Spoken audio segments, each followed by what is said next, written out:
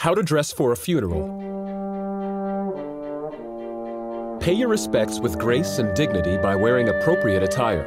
You will need dark, conservative clothing and a handkerchief.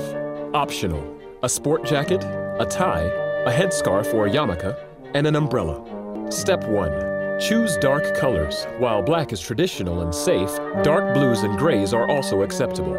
Step 2. Dress as you would for a job interview or house of worship. A suit, collared shirt, and tie are appropriate for men. Women may wear a pantsuit, skirt suit, or a modest dress that covers the shoulders or is accompanied by a wrap.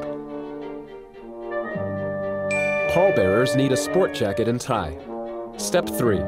Be sensitive to the dress codes of certain religious or cultural customs. Ask in advance if you can. Some Christian, Muslim, and Jewish denominations require mourners to wear a headscarf or a yarmulke or a skullcap. Step 4. Wear appropriate accessories such as closed-toed shoes, a muted colored tie, and understated jewelry. Hats should be formal and not too big or flashy.